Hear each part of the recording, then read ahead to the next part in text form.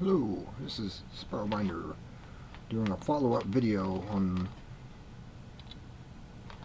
the mount for a telescope to video camera, especially one that's like a iPhone type video camera. This is actually a what they'd call a blog camera because you can turn it up like that, turn it towards yourself and actually do a blog of yourself and so you can see yourself, make sure you're lined up in the picture and everything. That's why I call it as a blog type one. I took this out and I tried it out and it works pretty good. This part here goes around the eyepiece, this little metal part here, and then you just do your adjustments at the scope with the camera to move it in or out, however you need, how close you want to get. I got some raw footage which I'm going to show right now. And oop, move that out of the picture. And this is the raw footage I took through the telescope tonight on the uh, August 24th, 2012, and it was about 7:40 or so in the evening. And like I said, this is raw footage. I didn't do anything to crop it or anything. This is just how it looked to the eyepiece.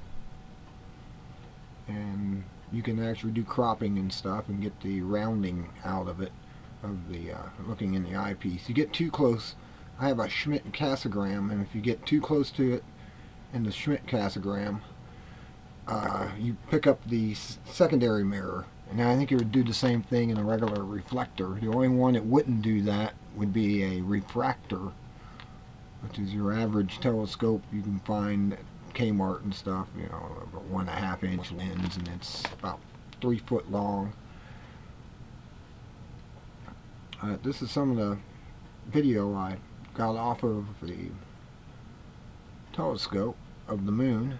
It's a half moon, or first quarter and it's not doing too bad. I've used the uh, when I used the zoom on it, to zoom in, I didn't have to worry about the circling because I just zoomed into the eyepiece and that's why I'm picking up all these craters and stuff close up. I still got some uh, minor things I need to do. I think I need like uh, lock washers to lock the, the nuts a little better on it because apparently they're not locking all that great. And so you may see it go to white flash because the camera turned away from the eyepiece at an angle. And let's see. Yeah see that? That was the camera moving it was loose on the part where the camera's uh, mounted to that's hooked to the all thread and I need to put lock washers there on the all thread part where the uh, mounting bracket for the camera is to keep it from swinging real easy like that. It was kind of loose. I couldn't get it to really tighten up very good but the finger tight. And I guess I could have used a pair of two pair of pliers or wrenches and tweaked it tight. But it didn't do too bad of a job. I'm kind of satisfied. It's, this Vivitar I'm using is a uh, what they call a high definition. So it's kind of great. It's only high definition when you don't have to zoom in. Because as you can see, you can almost see a little bit of pixelation. Because it doesn't really zoom in optically. It zooms in onto the CCD. And so it all it does is zoom in on the pixels. and I found that's an irritant. I guess you have to pay more than $45 for a video camera to uh, get something a little better. I mean, I've seen cameras three, four hundred dollars, five hundred, eight hundred. It probably have uh, actual optical zoom on them. But like over here, I don't know if you can see it, but it's like you can see little blocks which is the little block on the CCD where it magnified it.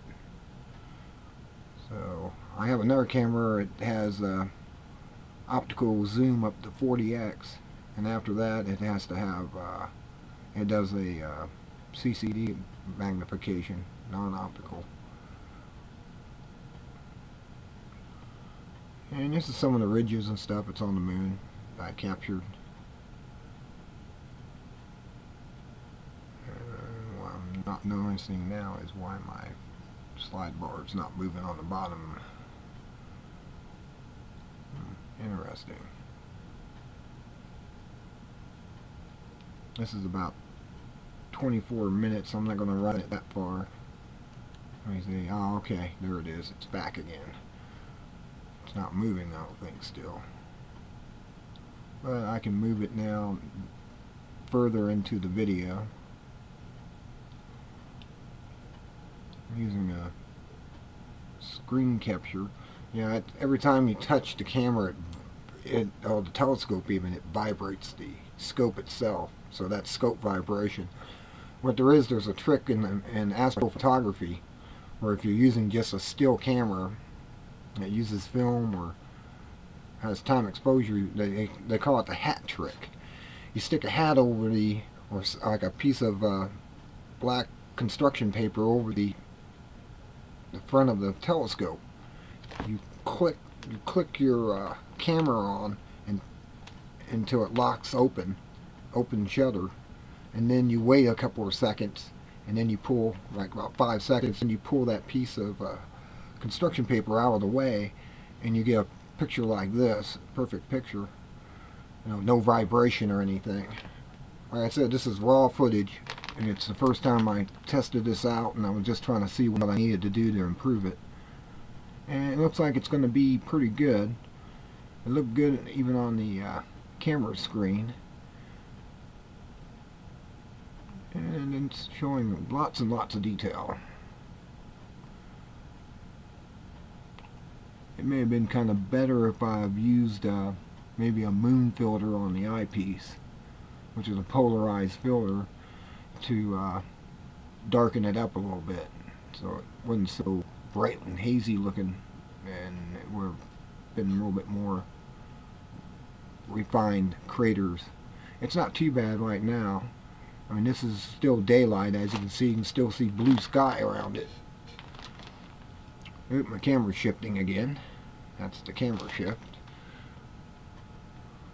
And it's not pointing directly into the eyepiece. There it is. I moved it back and start to go back and forth till I figured out where it was centered.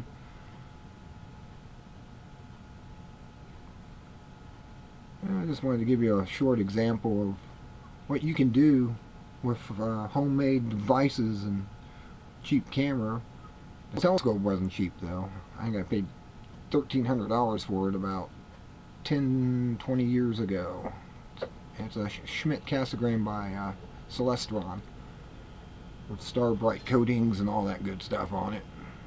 I thought if I was going to get a scope, I was going to get a uh, Schmidt Cassegrain because they're small, they're more portable than a bigger scope. It's like a bigger aperture with a shorter scope focal length. Here I am zooming back in using the camera zoom. And see until I stop turning the knobs and, and adjusting, tweaking the knobs, it shakes a little bit. And you see a lot of heat's coming off of it. That's atmospheric heat going over the moon. That's why it looks like it's waving around. Um,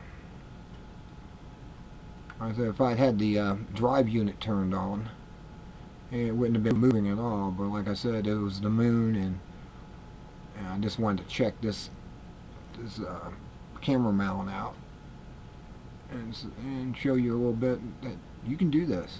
You have a, basically any any telescope will work.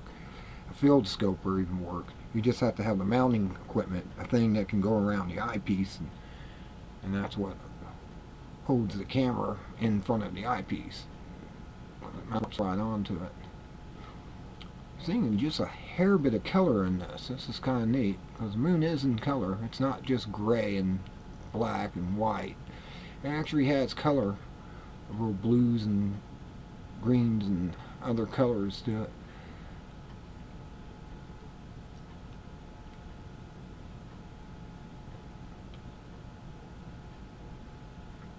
Okay. I think that's enough for this. I'm going to let it go here. Hope you enjoyed this little demonstration. And maybe you're going try it too and put your results up. Be, feel free to leave comments and other astronomers uh, what's out there on YouTube. I've seen some other people's works.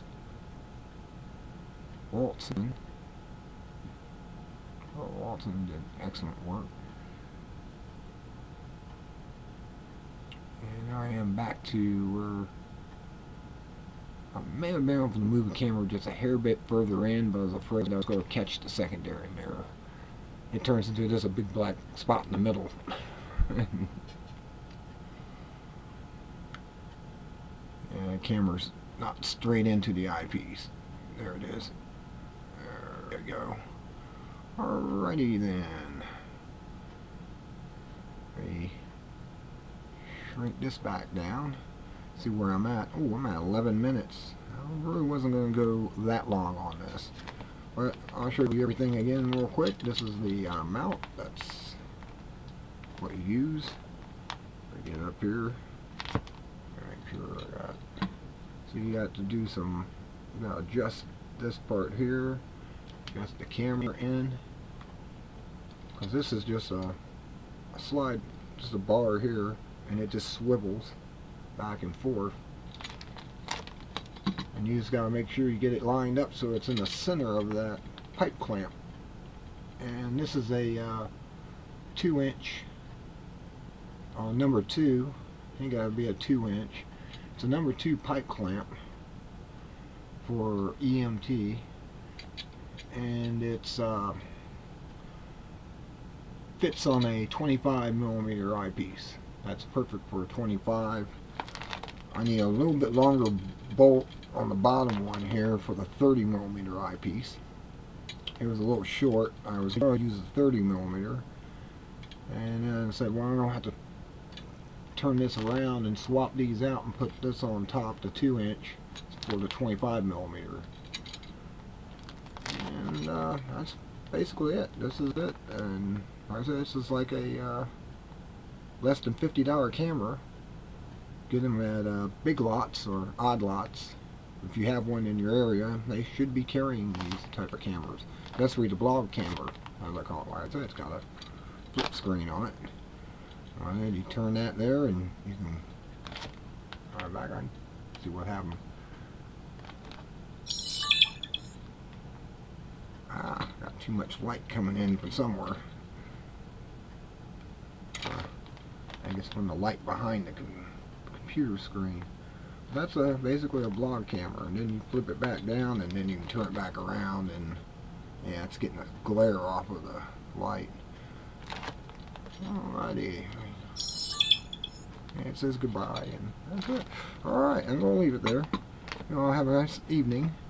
Enjoy this evening. Hope it's, if you're an astronomer and you've been out, or setting up for tonight, it's clear in the uh, Ohio Valley area as of right now. Don't know how long that's going to last. And uh, until next time, keep your eye on the sky.